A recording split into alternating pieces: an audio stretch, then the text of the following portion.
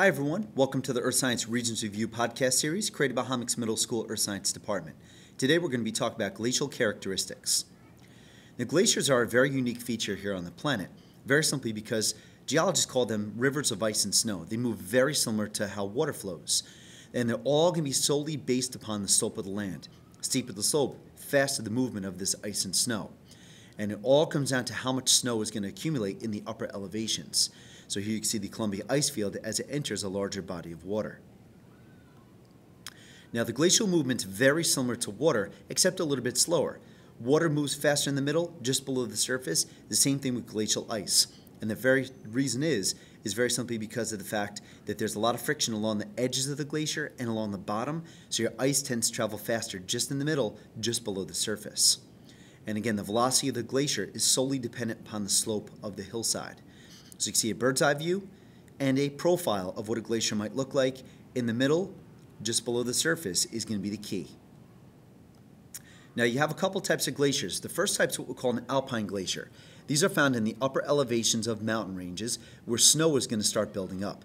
These things get so massive they actually carve a U-shaped valley in the landscape, much like what you're seeing here. The second type is what we'll call continental glacier, and this is when full continents are covered by ice and snow. And that's going to be Antarctica and Greenland are going to be the two examples. We also had one over top of New York State 22,000 years ago during the last ice age.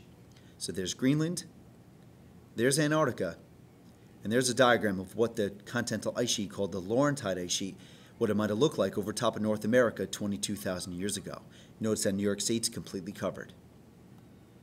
Now you have a couple zones of the glacier. You have the zone of accumulation the zone of melting, and then finally the snow line. Now, when you get more accumulation than melting, the glacier is going to get bigger. When you get more melting than you do accumulation, the glacier is going to get smaller. When melting and accumulation equal each other, that glacier is going to be stationary, means it's not going to be moving, means that we have reached equilibrium with the glacier. So there's your zone of accumulation, and there's your zone of melting. So glaciers not only deposit, but they'll also erode as well. They're going to transport sediment to a new location. And some of the erosional features are as follows. You can get cirques, which are bowl-shaped features at the top of mountains where snow builds up. You can also get what are called arêtes, which is the rock that separates two cirques. Sometimes you can get multiple cirques in a hillside or a mountainside, and you get what's called a horn. And a horn is a very sharp peak on the mountain slope, and the most famous is the Matterhorn Peak in Switzerland. You also have striations. Glaciers are like big pieces of sandpaper. As they pick sediment up, they're going to ground out the rock that's underneath it with the sediment that's picked up. So the striations are basically going to be parallel grooves that are carved into the bedrock by the sediment that is picked up. The great thing about striations, they show the direction of ice flow. And in New York State, that's going to be in a north-south direction. So here's your picture of what striations might look like. Notice the parallel grooves in a north-south direction.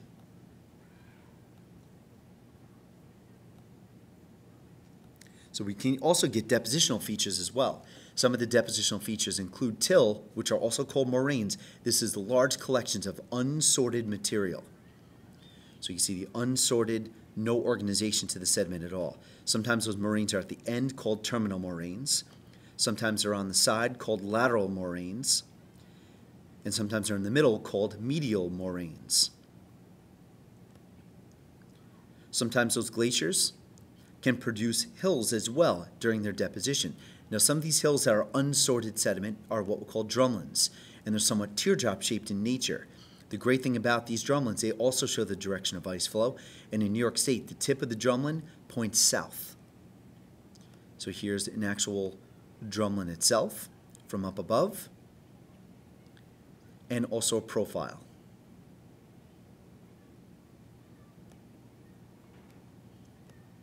Continuing with the depositional features, you can get outwashed plains.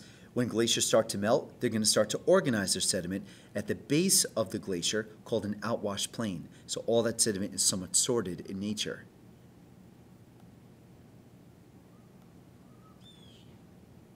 Continuing with the depositional features, big chunks of ice that break off in the water are called icebergs. Big chunks of ice that break off on land are called kettles, so they leave a big dent in the ground. Sometimes those kettles get filled up with water and they're called kettle lakes.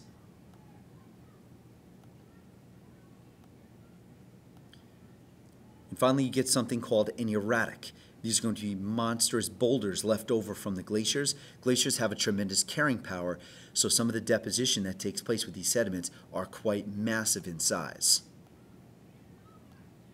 Now, there's no real understanding about why we have these ice ages, but Milutin Milankovitch came up with a three part theory, which is kind of the leading theory behind why we think the ice ages occur.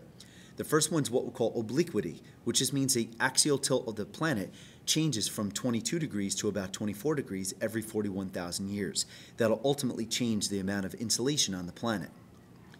Precession just means that the axis has a wobble, that every once in a while it will change from pointing to Polaris to pointing to a star called Vega, back to Polaris, back to Vega. Again, every 25,000 year cycle, again, changes the angle of insolation. And finally, the eccentricity, which basically changes the shape of the Earth's orbit from being somewhat circular to being elongated, ultimately changing the amount of insolation from the sun as well. So this three-part theory gives us an idea about maybe about why our ice ages actually occur.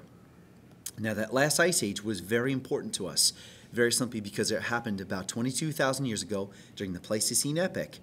And we believe because of the shape of the, of the landscape right now, that the ice might have been upwards of about a mile thick. It brought in a tremendous amount of transported sediment from northern Canada, and it did create a couple features on New York State, which includes Long Island, the Finger Lakes, and the Great Lakes. So here's just an idea about some of the features. Uh, the Great Lakes, two of them border New York, that's Lake Ontario and Lake Erie. They're, they're all of them are U-shaped in nature. The Finger Lakes, again, are U-shaped in nature. Long Island is partially unsorted material, such as a moraine. There's actually two moraines in Long Island, the Ronkonkoma moraine and the Harbor Hill moraine. Part of it is sorted in the term of outwash, because part of Long Island had to form when the glacier melted, which produced outwash, which is sorted. And then finally, the Hudson River Valley and the Hudson River are somewhat U-shaped in nature as well. Now, just remember that glaciers are going to give you unsorted sediment. They're going to give you unlayered sediment, unless the glacier starts to melt. If the glacier starts melting and you get glacial meltwater, then those sediments will be sorted. So that's it for now. We'll talk to you soon.